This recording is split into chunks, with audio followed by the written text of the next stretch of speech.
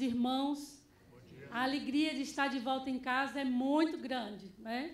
Rever o, o, os conhecidos e ficar espantada com os não, os não conhecidos, mas feliz né, de ver tantas carinhas novas, louvando a Deus por, por cada um dos irmãos.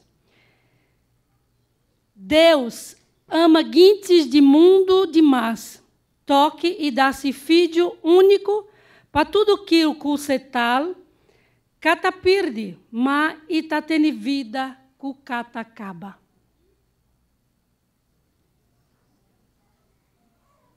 Texto extremamente conhecido de todos nós. Hum? Porque Deus amou o mundo de tal maneira que deu o seu único filho, para que todo aquele que nele crê não pereça, não morra, mas tenha vida eterna. Meus queridos irmãos, tem sido uma bênção, uma alegria, um prazer imenso. E há quem diga que eu voltei mais bonita de Guiné. Então eu tenho que dizer para os irmãos que obedecer a Deus e ir para o campo missionário é outro nível de vida. O sol da Guiné castiga e deixa a pele um pouquinho mais é, manchada, mas isso aqui é exterior e a alegria do coração vai transformando o rosto e dando cada vez mais uma beleza que não tem Mary Kay, Eudora e nenhuma dessas marcas que possa fazer essa belezura acontecer, porque realmente isso é coisa de Deus. Tá bom? Meu querido, coloca para nós os, o PowerPoint.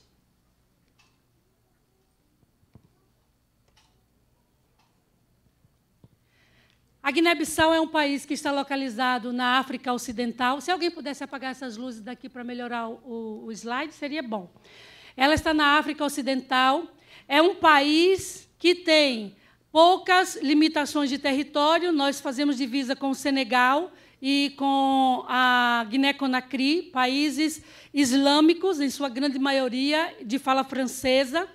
Temos depois o Oceano Atlântico, não é, como nosso outro limite, e o nosso país, então, é, tem um, um, grupo de mais de 80 ilhas no arquipélago dos Bijagós, uma região é, muito bonita, a parte mais turística, digamos, da Guiné, mas que ainda não tem assim um turismo tão efetivo, porque o custo de vida do povo, de um modo geral, é muito limitado. Então, turismo é coisa que se vê muito pouco. Nós ainda não tivemos o privilégio de conhecer as ilhas. Nosso trabalho está concentrado mais no continente mesmo. Né? Nós viajamos do norte ao sul, de uma ponta a outra do país, com o nosso trabalho de educação.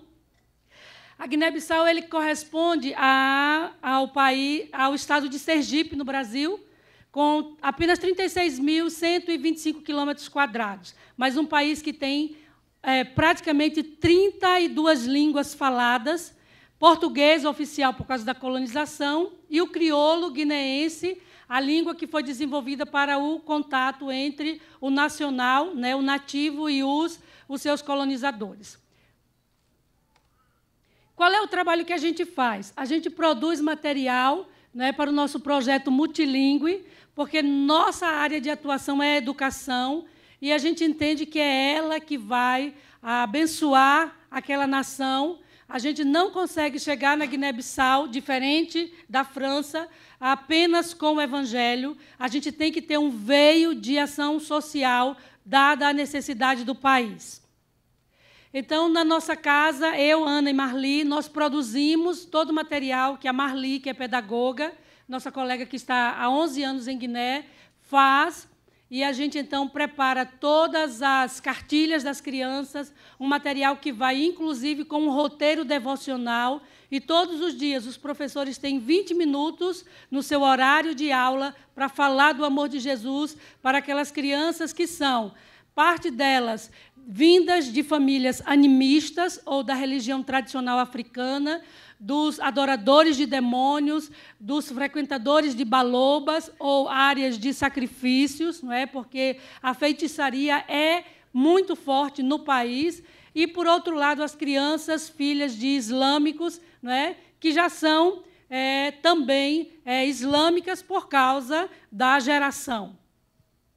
Nós, então, produzimos todo esse material, temos uma pequena, um pequeno escritório, né, com muitas limitações, mas, graças a Deus, a cada trimestre a gente tem 11 escolas né, de norte a sul do país e também na capital que a gente fornece esse material. E também viajamos para determinados locais para avaliar como os nossos professores têm trabalhado com todo esse material. Ah, nessa foto aí a gente tem ah, eu estou nessa ponta de cá, né, a grandona, a Ana no meio e a Marli do outro lado. É, eu e Ana fomos juntas há dois anos atrás e trabalhamos, então, apoiando a Marli. A nossa missão, além, ela trabalha com educação e tradução. No entanto, o país já tem um organismo, uma organização nacional, que é o ITA, não é? É o Instituto de Tradução e Educação de Alfabetização, e a parte toda de tradução da Bíblia fica na responsabilidade deles. Já a parte de alfabetização, que também devia acontecer através dessa instituição, fica mais, digamos que, relegada. Então, a gente tem buscado fazer esse trabalho, principalmente valorizando algumas das línguas. A gente tem é, o crioulo, por ser a língua da unificação nacional, o trabalho de maior peso, mas a gente também tem produzido material em Balanta, nós temos alguma coisa em Sonique, que é um outro grupo, e temos muita demanda, né? É, entre, entre os beafadas, que nós já trabalhamos, entre os pepés, que é o povo, que é a etnia que a gente abraçou mais de perto, porque também é a igreja que nós trabalhamos, ah, entre os fulas, mas nós não temos recursos e gente suficiente para produzir todo o material na demanda que a gente tem necessidade. Queridos, essa é uma das escolas que a gente atende. Essa escola é uma escola numa área é, de Pepel e Balanta, não é, numa comunidade chamada Bissalzinho. Ela é feita com um material chamado quirintim. É como se fosse uma espécie de bambu muito fino que eles trançam, não é? E a parte de cima, a cobertura é de, é de palha. As carteiras são improvisadas, como eles conseguem fazer, e cada criança leva o seu assento, a, a sua cadeirinha plástica, para poder frequentar a aula, porque a gente não tem uma escola com uma estrutura. E deixa eu abrir um parêntese: a gente sabe que a situação do nosso país, né, em muitas frentes, está bastante deficitária. A gente lida com políticos que podiam olhar mais para a população, mas se você tiver a oportunidade de um dia na Guiné-Bissau, você vai voltar dizendo: Uau, eu moro no paraíso! Porque a sua realidade, ou seja, a nossa realidade de Brasil em relação à Guiné, é diametralmente oposta. Educação e saúde praticamente não existem. E eu até falei ontem que o ano letivo 2018-2019 teve que ser anulado pela quantidade de greves na, nos, dos professores e somente as escolas é, de missionários, principalmente, ou da Igreja Católica, é, são aquelas que conseguiram manter o ano letivo. Então, toda, todos os alunos da rede pública tiveram o seu ano a, a, cancelado por conta disso. E nessa escolinha, então, a gente trabalha também, produz o mesmo material, a gente tem ah, ajudado esses irmãos. Parte desse trabalho que nós temos feito, tanto eu quanto Ana e Marli, tiramos do nosso sustento pessoal, porque quando nós fomos, nós não tínhamos levantado recursos para projeto, precisávamos é, avaliar toda a situação, para a partir daí pensar em, em um projeto direcionado para a educação, para a alfabetização de crianças e também de adultos. Então, do nosso sustento, a gente vai administrando todos os projetos que a gente desenvolve. Aí também é uma outra escola que a gente ajuda. Essa escola, o nosso material todo ele é em Balanta. Aí a gente está numa visita às escolas na região de São Domingos, avaliando o trabalho que a gente tem feito. Essa aí é a missionária Ana. Nessa próxima foto é um momento é, de devocional que o professor faz com a criança para ensinar os princípios da palavra. essa aí é Balanta, é um povo de, de origem animista, e as crianças convivem com uma realidade espiritual terrível mesmo de ação maligna. Nós também temos trabalhado com a alfabetização de mulheres. As mulheres, por ser um grupo, né? Pastor, meu tempo está acabando. Ah, por ser um grupo que não tem privilégios, né? a mulher na Guiné-Bissau ela não tem a oportunidade, na grande maioria das vezes, de ir para a escola. As menininhas, a partir de três anos de idade, elas praticamente se viram. Pensa aí, você que tem um filho de três anos, sair de casa e deixar o menino por si cabeça própria. A gente pergunta, cadê a fulaninha? E está na casa por si cabeça própria. Hã? Um bé? Como assim? Por conta de si mesma. É, se vira, vai, pega uma roupinha e na hora de ir para a escola vai para a escola, muitas vezes sem nenhuma refeição. As pessoas comem duas vezes por dia, manhã e tarde. E alguns uma única vez, e a gente sabe que tem muita gente às vezes que dorme sem nenhuma única refeição diária, tá? A mulher ela sai para ir para a rua, pra, ela é bideira, é vendedora de pequenas coisas. E ela sai de manhã muito cedo e volta de noite, e a, a renca, né, aquela filharada toda, fica sempre por conta de uma mocinha que cuida dos menores da casa, é quem lava, é quem ah, faz a comida. É, a alimentação básica do guineense é arroz né, e um molho e muita malagueta. Muita malagueta. Olha que eu sou baiana, mas de vez em quando a boca queima, porque a pimenta lá é forte. Tá? E essa mocinha é quem fica em casa e que cuida de todas as coisas. Então, a gente tem, na igreja, sido desafiada para ajudar as mulheres. Ah, e a Ana recebeu, então, um pedido de uma nova, que disse assim: missionária, eu não sei ler. E o nosso coração fica verdadeiramente é, pasmado de perceber essa realidade de analfabetismo. Então, a gente começou a trabalhar com um material que foi disponibilizado na internet ah, para a Ilha dos Bijagós, para a alfabetização. Esse material está em crioulo, a Ana fez uma adaptação, e aí a gente tem usado, produzido esse material, a gente dá um curso de formação para um facilitador, e ele, então, vai trabalhando com as mulheres. É, começamos na nossa igreja e também fizemos treinamento com outras pessoas que ainda não começaram o trabalho por falta de recursos para estruturar, não é? mas que têm interesse. Então, a nossa área de atuação principal é a educação.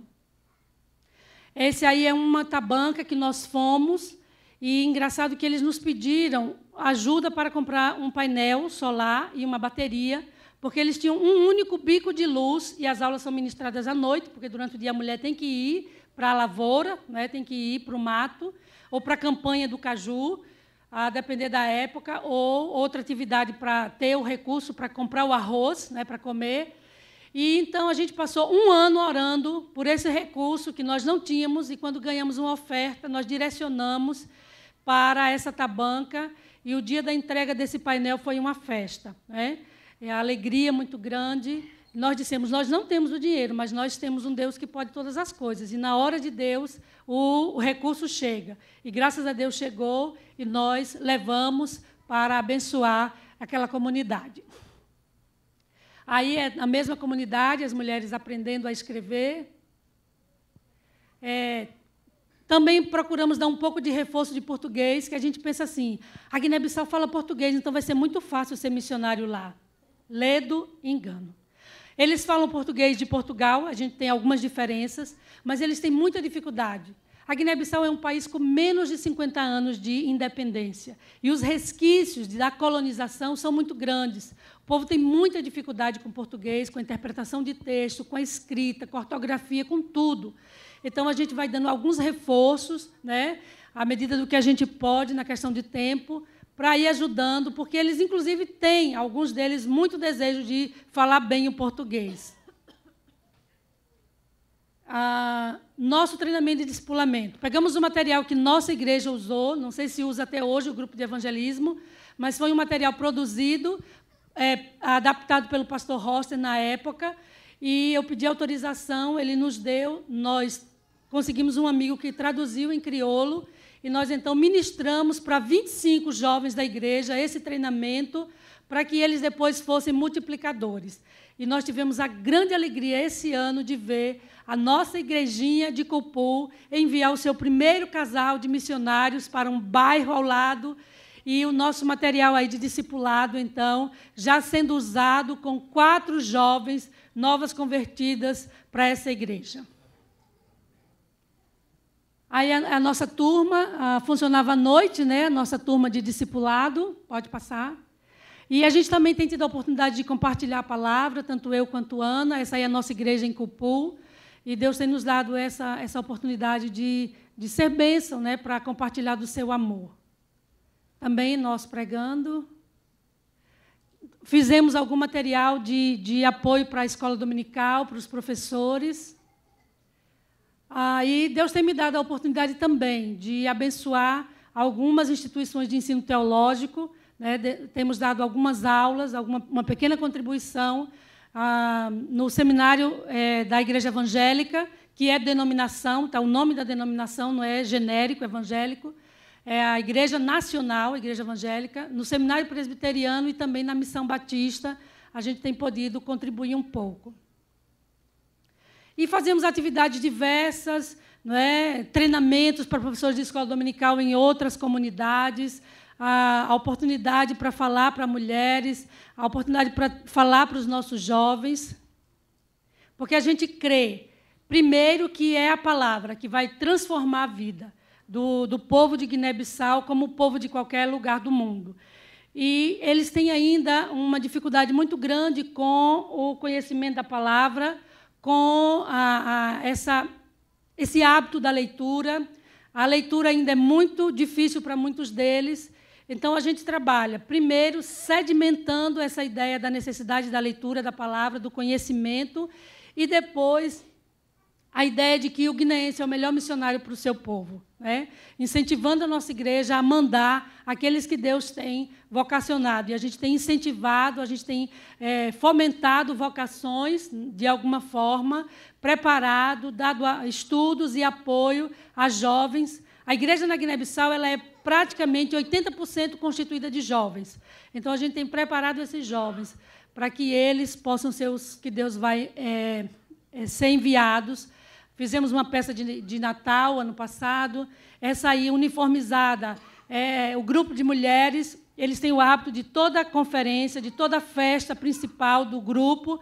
No último dia, todo mundo vai com uniforme, né? faz ali o vestido. São muito vaidosos, digamos assim. Tem muito bom gosto, né? o colorido das roupas, a alegria, a festividade é uma marca bem constante no, no nosso país. Esse carro foi o que Deus nos deu para o nosso trabalho, e eu tenho dito assim, irmãos, que para a nossa realidade de Brasil, isso é um carro de luxo. Eu sei que é um carro caro, mas para Guiné-Bissau, a gente não olha esse carro com o mesmo olhar que a gente olha aqui. A gente olha pela funcionalidade, pela praticidade, pela importância, dado o tipo de estradas e de circunstância de vida que a gente tem. Então, de fato, Deus que não se deixa vencer em generosidade, é, nos agraciou. Então, com esse carro, a gente carrega as crianças para a igreja da congregação, a gente faz mudança de irmãos, a gente faz mudança na congregação. E eu tive uma experiência muito triste. Foi de, de conduzir uma pessoa que nós conhecemos e que nós acompanhamos ajudando com a questão da saúde, de conduzir ela morta nesse carro para levá-la para o cemitério. A vida missionária é assim. A gente tem os momentos de muita alegria de levar um grupo de crianças para a igreja, mas a gente tem o momento de carregar uma pessoa que a gente acompanhou e que a gente esteve junto muitos dias.